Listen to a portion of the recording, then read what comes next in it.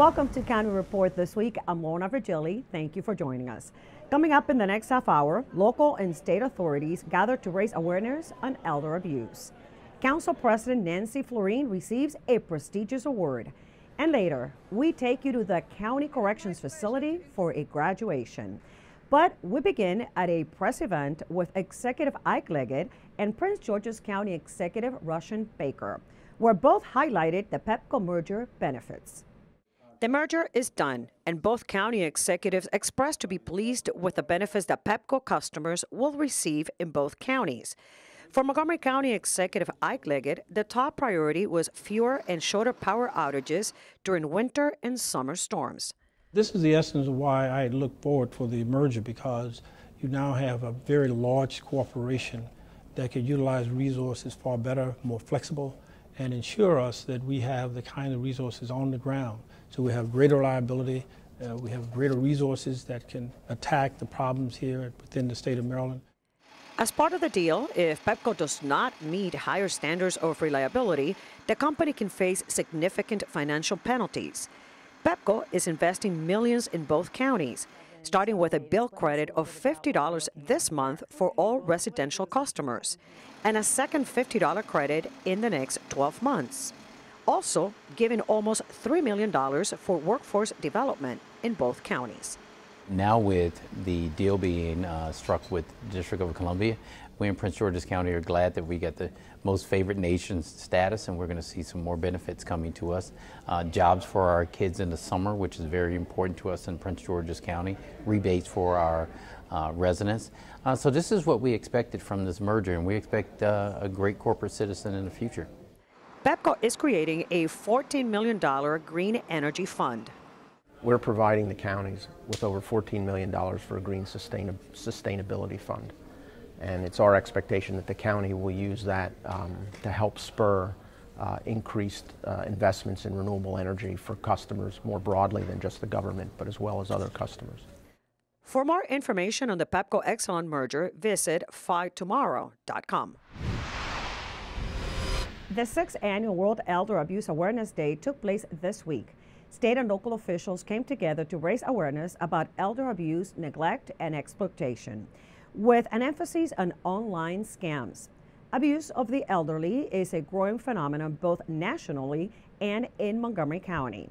The workshop took place at Holiday Park Senior Center, and part of the program included safeguard tips against cybercrime. Any type of abuse, financial or we will try to help them, and here is a venue for information for them to identify resources, get to know the players, who they can call, who they can go to, all the different resources available to them, and then be aware of different schemes out there because many times they fall victim on schemes that are well known to many of us who have been using computers for a very long time. In Montgomery County, the 60 and over population is about 18.5% of the county's total population. For information about county senior services, go to montgomerycountymd.gov slash HHS and click on Older Adult Services. The Quicken Loans National Tournament will be held at Congressional Country Club in Bethesda from June 20th through the 26th. County departments and agencies have been working on pre-tournament arrangements to help spectators to get to and from the tournament. Here is a list of parking locations.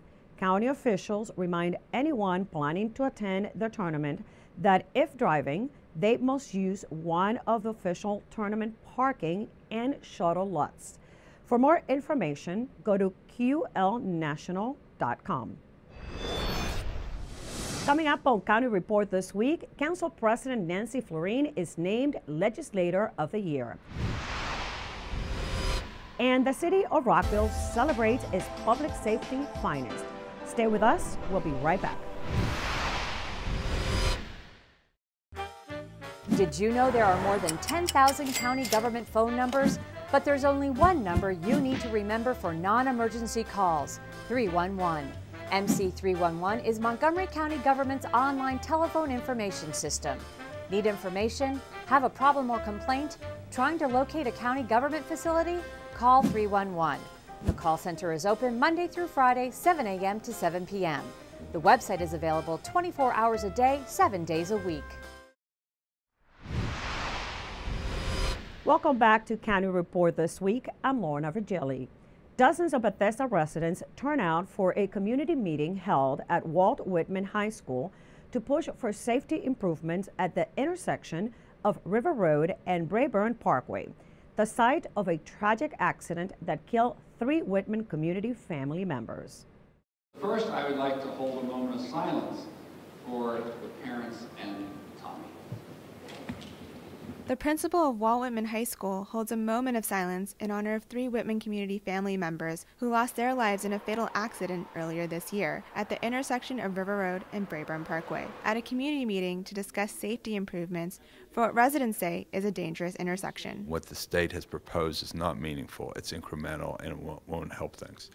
Um, and it's very frustrating to me that uh, something that uh, of this magnitude can't, has to be dealt with in such a bureaucratic way. In fact, the Maryland State Highway Administration has presented the community with four concept plans that would modify the median and left turn regulations for the intersection. But residents say more needs to be done. I think the proposals um, to date are inadequate because the intersection is extremely dangerous. And what we need there is a light, and we probably need the intersection redesigned so that the light can um, protect both people taking a left turn off River Road and also people coming from the Bannockburn um, school district. Well, I'm glad they made some suggestions because in 2008 they didn't make any suggestions that were more concrete than putting down some paint.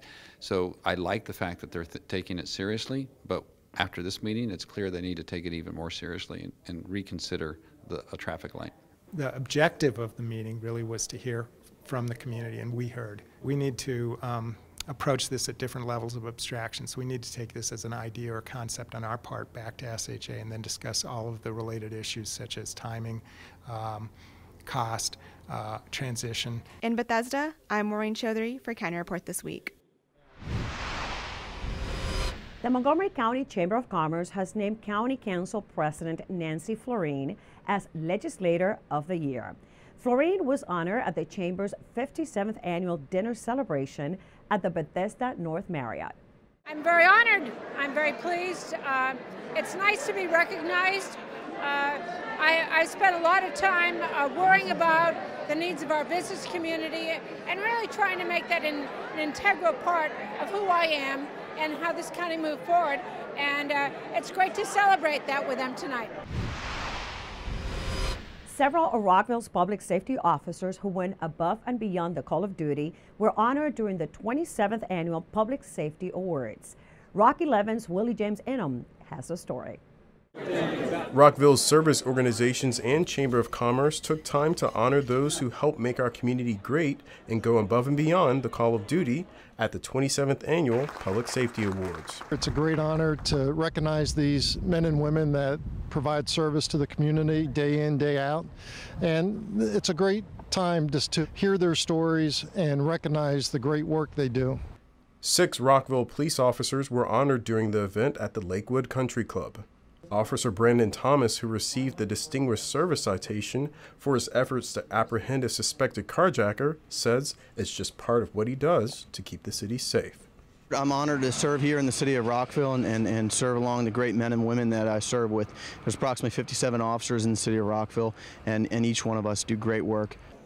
And former Rockville Police Chief Terry Treschuk may have retired recently, but his decades of work hasn't gone unnoticed as he received the first ever Lifetime Achievement Award. Officers weren't the only ones to receive awards. A Good Samaritan was recognized for his bravery in assisting with the capture of a suspect on the Rockville campus of Montgomery College. When things happen to people in our community, we can't just stand around and watch. You know, we have to look out for one another in our community. This year, 23 members of Rockville's public safety agencies and two civilians were honored. In all, 518 awards have been presented to members of Rockville's public safety agencies, civilians, and canine partners since the beginning of the Public Safety Awards back in 1990. For County Report this week, I'm Willie James Inman. Coming up on County Report this week, we take you to an elementary school where Skype plays a role in Spanish language immersion. And Montgomery College celebrates its annual graduation at the County Correctional Facility. Don't go away, County Report this week is coming right back. History comes alive during Heritage Days weekend, June 25th and 26th. Discover Montgomery County's historical treasures during this free countywide event. The two-day festival offers visitors an opportunity to sample numerous sites representing the history, culture, and natural beauty of Montgomery County. So join us for Heritage Days, June 25th from noon to 4 p.m. all over Montgomery County. For more information, call 301-515-0753 or go to heritagemontgomery.org. Are you sure they can recycle us, Clamshell? Hey, Dome, we're on a new recycling postcard. I can't wait to make a new start. Maybe I'll be a red carpet at a big premiere. And I'll get to paint the White House. Shh, here he comes. now you can recycle more plastics in Montgomery County, including number one PET plastics such as clamshells, deli containers, trays, lids, domes, and cups. We're in! For more information on recycling, contact the Montgomery County, Maryland Division of Solid Waste Services at 311. The wait is over. Recycle more plastics today. Welcome back to County Report this week. I'm Lorna Virgili. With the use of Skype, fifth graders at Rock Creek Forest Elementary School are broadening their perspective of world geography and learning about diverse communities, and they're having fun too. MCPS TV reports. No. At Rock Creek Forest Elementary School, fifth grade students are practicing a creative way to learn geography, languages, and history by using the online communications tool Skype to connect with students from a class somewhere else in the world. My kids are in the Spanish immersion, so it was a great way for them to practice Spanish. Also, they learn how to use better the maps, how to use like the, the Google Maps with the Chromebooks, looking for like clues and like searching. Like at the same time, they're asking questions and they're like filtering their responses. I think there's a lot of skills involved. Called Mystery Skype, students use clues to discover the location, which makes geography come to life and helps integrate them into a global community of learners. A mystery Skype is where our class, our teacher sets up a Skype with a class somewhere else in the world. We try and guess where they live before they guess where we live using only yes or no questions. Wisconsin. No, no estamos en Wisconsin. They realized after the first or the second time that asking good questions was really important to be the winners of the activity. What I like about the Mystery Skype is that it's an adventure and you can because it can be anywhere in the world and then you figure it out and it's like whoa they're from all the way over there. I was the one who guessed the country and the city um, it was antofagasta. They're from chile so the chile part was from my group because um, we heard their accent. Students lead the activity designating tasks to groups and working in teams. They use technology to journey around the world and learn about different communities I think like for the kids it's really about like this um, awareness about how people live in, in different parts of the world. What I liked about the students from Chile was we got to learn their lifestyle and how they live in their school and how their calendar works. It impressed me that they had to wear uniforms. Our class likes to share facts about where we live, and then the other class shares facts about where they live. So I feel like I'm learning, but at the same time, I'm having fun. In the recently approved FY17 budget, the county awarded grants to multiple community organizations that are providing resources and services to its residents. AA Lead is a nonprofit organization that provides low-income, underdeserved Asian American youth a positive outlet. Crystal Park has a story. Asian American Lead is a youth development organization. We've been around since 1998. In Montgomery County, we're serving youth middle school, high school, and we just launched a program at Community College. We are supporting low income and underserved Asian Pacific American youth with educational empowerment, identity development, and leadership opportunities. And we do that through after school programs, summer programs, and mentoring programs. There are a lot of stereotypes that surround our Asian American community and assuming that all of our children uh, don't have any struggles just because they're Asian American, and that's not real. Um, not all of our children come here with the same resources or the same backgrounds, and just as we see other children struggle uh, in our school system, we have to provide them the support that's necessary.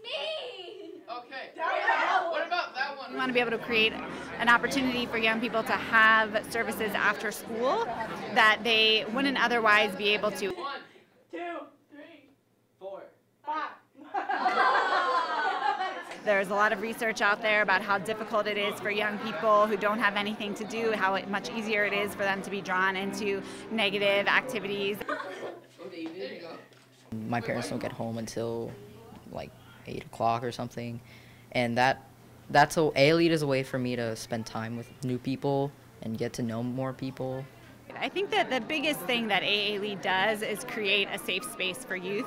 The AA Lead is a family, and our youth refer to AA Lead as a family where they can be themselves and develop friendships and be recognized for all of the different parts of their identity. It's helped me gain confidence and helped me have build the confidence to talk in front of people and make more friends. A Lead has uh, brought me so much, and I don't know what I would do without it. And if this were to, you know, stop giving us money, uh, I don't know what would happen. Montgomery County Libraries is kicking off its annual Summer of Reading program with new programs. The Aspen Hill branch manager has the details. This year, uh, we have designed the program for all ages. So we have a program set up for uh, children, teens, and adults. We are not going with our traditional program where kids had to read a number of books or read for a number of minutes. This year we have included activities to include things where they would read and also learn to help prevent summer slide. I think it's a great way for our kids to continue to learn during the summer. Sarah loves to read, and it's a great way for us to also talk about the books. She's learning so much through her reading, um, and it's a great program. Register by visiting any branch or online at montgomerycountymd.gov slash library. A group of MCPS elementary school students from Title I schools discovered what it means to be a scientist. Here is the story. More than 20 students and their families took an evening field trip to Emergent Biosolutions in Gaithersburg to experiment and explore careers in science. Yes, I'm really curious, and I actually really excited because I really want to know what, what I'm going to learn today. We're very excited to have the Montgomery County Public Schools come in to our site here in Gaithersburg to learn a little bit about what we do as a company, um, learn a little bit about science, and hopefully get them excited about science so they will find a career path in that direction. This is a great opportunity for the whole family to learn about opportunities in science and math in terms of careers so that not only are there opportunities at schools, but families can continue to seek out new opportunities for their kids in the community. Families and students who attended also enjoyed a light dinner provided by the MCPS Division of Food and Nutrition and Title I Services. During the evening, students participated in a variety of interactive activities. We brought in um, licorice and gummy bears to make DNA molecules. Can't go wrong with candy. Um, and hopefully, as they're doing it, they'll learn a little bit about the science behind it and remember it. I'm learning that actually, I never knew this, but DNA samples connect. Find that amazing cool. Another investigation allowed students to understand the science behind the making of ice cream. The science part of it is when we add the salt to the ice to make it more colder so the ice cream will freeze while we shake it. I think I might be a chemist when I grow up. This is a great partnership between the school and, and private industry to show the kids exactly you know, what, what, what goes on in the workplace, uh, how science really works in the real world. Being in this building is cool because we get to learn about science. This is fun because I'm learning about cool science things. This, this event is awesome! The Montgomery County Corrections Facility has another year of graduates walking the stage instead of the line, thanks to the partnership with Montgomery College. Here's a story. Friends and family are celebrating the 2016 Model Learning Center commencement. at the Montgomery County Correction Facility. What you saw today were eight individuals that came and seized education. We're providing them the opportunity. We give them nothing. We give them opportunity, but they seize the moment to, to grab their education and, and to make it a reality for them. Graduating inmates were greeted with a decorated facility and a number of Montgomery College officials. The college entered a new partnership with the correctional facility to provide inmates the opportunity to study a myriad of subjects, from digital literacy to earning a GED since January and a new partnership that we've entered into. We have GED, ESOL, digital literacy, food service classes, and we're able to offer a lot more education to the students. This year's valedictorian, Anton Powell, took to the stage to give his inspiring story of how his determination culminated in the taking of the first step to his dream. It's a special moment, you know, moment I'll never be able to forget. You know, I'm truly, my loved ones are truly proud of me, man. You know, I just got a business card here, so it definitely opens some doors. This is so critically important to me to see students like Anton, who is going to walk across that bridge to Montgomery College. He has indicated through his focus and his determination that he wants to make something of himself. Montgomery College has been aiding inmates in this facility for the past 10 years and will continue to grow the program to help further the opportunity for education. It takes great people like Dr. Somersault to make it happen. Watching this all unfold and thinking about my, my friend retiring, I wanted to tell you your legacy was sitting in front of you, and it was a pretty amazing thing. For County Report this week, I'm James McLean. Coming up on County Report this week, Canadian geese are multiplying fast and the county is getting ready for a roundup. And with the 4th of July celebrations around the corner, we give you fireworks safety tips. Stay with us. Looking for a way to get around downtown Silver Spring? Hop on the Route 28 Van Go Free Circulator. The Route 28 Van Go Free Circulator provides rides Monday through Thursday from 7 a.m. to midnight and Friday through Saturday from 7 a.m. to 2 a.m. Fast, convenient, and free. There's no better way to get around downtown. To find out more information about the Route 28 Van Go Free Circulator, including route information, visit us online or dial 311. A Zika virus prevention tip from the Maryland Department of Agriculture. Mosquitoes can exploit the tiniest pools of standing water in your yard and ruin your summer fun. Check your yard every week and dump water out of any containers you see buckets, cans, bottles, coolers, bird baths, even wheelbarrows, and especially saucers under flower pots. Store items upside down when not in use, or better yet, inside. Learn more at mda.maryland.gov/zika. Welcome back to County Report this week. I'm Lorna Virgili. Montgomery County is moving forward with a roundup of hundreds of Canada geese from two local parks this summer. My MC Media's Sonia Burke reports. Hundreds of Canada geese call Montgomery County home, but at two local parks, these birds are now considered a nuisance. The geese like to feed on grassy areas, including these ballpark fields. And then there's what they leave behind all of their droppings. Um, it's not only unsightly, but it's you know potential health hazard. Park officials are moving forward with a plan to remove 300 non-migratory geese from Martin Luther King Jr. Park and Rock Creek Regional Park this summer. We're taking the next step, which is a roundup. And a roundup is essentially during the, the geese uh, their flightless period. When they're unable to fly, they molt their feather, the feathers in uh, the middle of the summer. And while they're flightless, you can essentially kind of corral them into a localized fence, like a tentative uh, temporary fence. And from there, uh, they're loaded into crates and taken off site.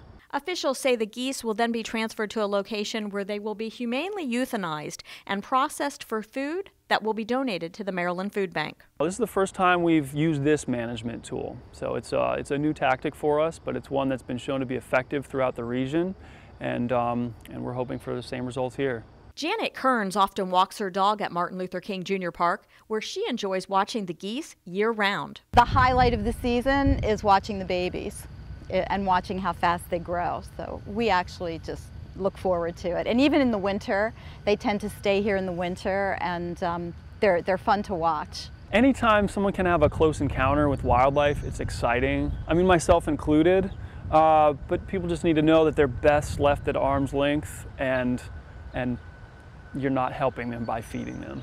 So, if there is one thing parks officials want you to remember, it's do not feed the geese. In White Oak, I'm Sonia Burke for County Report This Week. The 20 City Proof is Possible tour stopped in the city of Takoma Park recently, where TV and film personalities Corbett and Grace Lunsford offered anyone interested a tour of their tiny home. Folks that weren't here missed a tour of a tiny home. It's a demonstration home that is actually being lived in by Corbett Lunsford and his wife Grace Lunsford and their three-month-old daughter and two cats. They live in it full time and we offered residents the opportunity to tour the tiny home every night 5 to 6 p.m. this week. The tiny home is really just a way to bring people in and get them interested and talk about high performing homes. And that means that if they can do it in this tiny home, you can do it in your home right here in Takoma Park. You can make your home as energy efficient as possible with the best indoor air quality that you can get. I think people are generally really excited to see a tiny house on wheels and actually step inside one. Obviously, there's some curiosity uh, seekers that are interested in it. Not everybody wants to live in a tiny house, but everybody's heard of one and they've seen them on TV. So that's one thing. And also, they're generally really floored when they step inside my house and they hear that it's the quietest house that they've ever been inside. It's one of the most comfortable. My air conditioner, which is a Mitsubishi ductless mini split, makes zero noise. It's very clean smelling inside, even though I've got two cats. So we've got a litter box obviously somewhere in there, and they're always looking for it. Um, so I think all of the features and the systems that we very finely tuned in the Tiny Lab are impressive to people because they do get that it is a house like their house, even though it's built very differently. All of the things are totally applicable so that when they go home, they think, wait, why is my house not like that? As you can see, it is raining cats and dogs, and everyone is so excited to tour the tiny home that they are standing there in line in this downpour. That just speaks volumes about how cool it is to have a tiny home in Takoma Park and to have a super performing home for residents to tour. As we count down to the 4th of July, it is important to remember that it is illegal to possess or discharge fireworks in Montgomery County. Here's Captain John Feisner of the Montgomery County Fire Department with more. It is confusing to our community respective to the use of fireworks. And this is in part because jurisdictions around us have different requirements than Montgomery County, Maryland. But I want to be clear. The use of fireworks in Montgomery County is illegal. Uh, it is illegal to store, to sell, to discharge, to dispose uh, in any way, shape, or form, any firework uh, in this county. Here's some footage that shows some of the dangers of fireworks.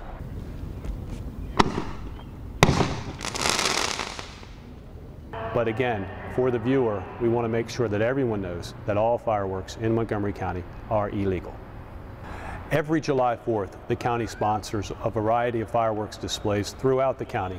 We encourage our community to go visit one of those displays to ensure a safe and a compliant uh, community event. Now it is time to meet our pet of the week. Catherine Zenzano joins us from the Montgomery County Animal Services and Adoption Center with more. Catherine? Hi, I'm Catherine Zenzano. I'm the Community Outreach Coordinator here at the Montgomery County Animal Services and Adoption Center. I'm here with Mrs. Elmo. She's a three-year-old terrier mix and she's available for adoption. She's a wonderful dog and she's just as goofy as can be, but also just loves to be near you and snuggle. So she'd be a great dog for a family that loves to go out and do fun things, but then also just be at home and, and hang out with their dog too. So we're hoping that somebody will come by and visit her and, and take her home with them. You can visit Mrs. Elmo and other available animals at www.montgomerycountymd.gov slash ASD. And with that, we close this edition of County Report this week. Remember to like us on Facebook and to join us again at this time every week for a look at what's going on inside Montgomery County. I'm Lorna Virgili, and thank you for watching.